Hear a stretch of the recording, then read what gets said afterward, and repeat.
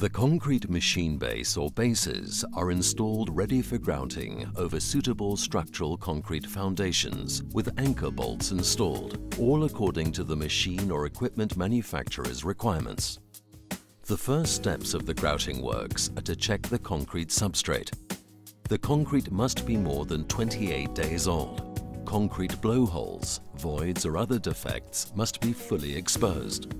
Surfaces must be sound, clean and free from ice, dirt, oil, grease, existing surface treatments, cement laitance, etc.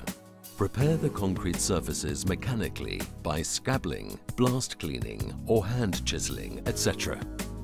Chamfer the edges of the concrete bases to 45 degrees for a minimum of 50 millimeters or 2 inches by grinding.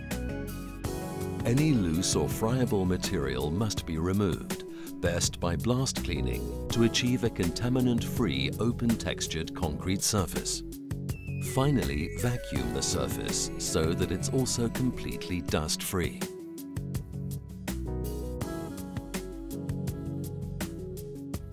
Ensure any anchor bolt sleeves are cleaned out thoroughly fill with a suitable self-leveling, flowable Sikaflex sealant if required. Sikadur 42 epoxy grout is highly flowable and so it usually requires the use of temporary timber formwork.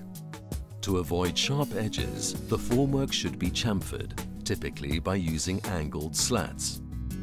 A release agent, for example polyethylene film or wax-based liquid, is normally applied on the formwork to prevent adhesion of the grout. Apply liquid release agents carefully and to the formwork only. Design the formwork to maintain more than 100 millimeters head to facilitate the grout flow.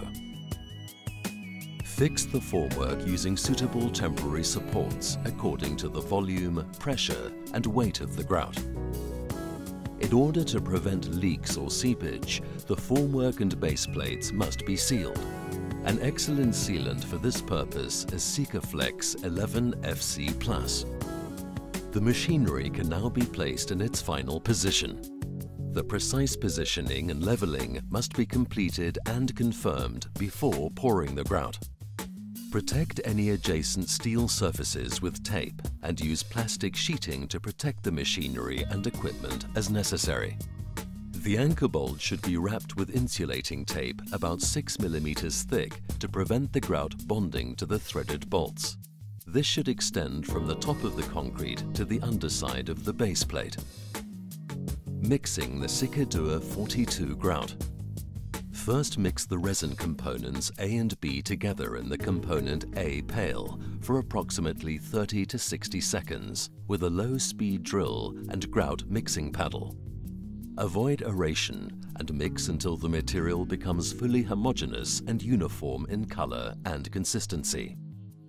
Pour the mixed epoxy components into an appropriate grout mixing vessel. Slowly add powder component C to keep air entrainment to a minimum to the defined mixing ratio according to the flow requirements. Continue to mix until fully homogeneous and uniform, approximately 3 minutes. Mix only that quantity which can be used within its pot life according to the ambient temperature.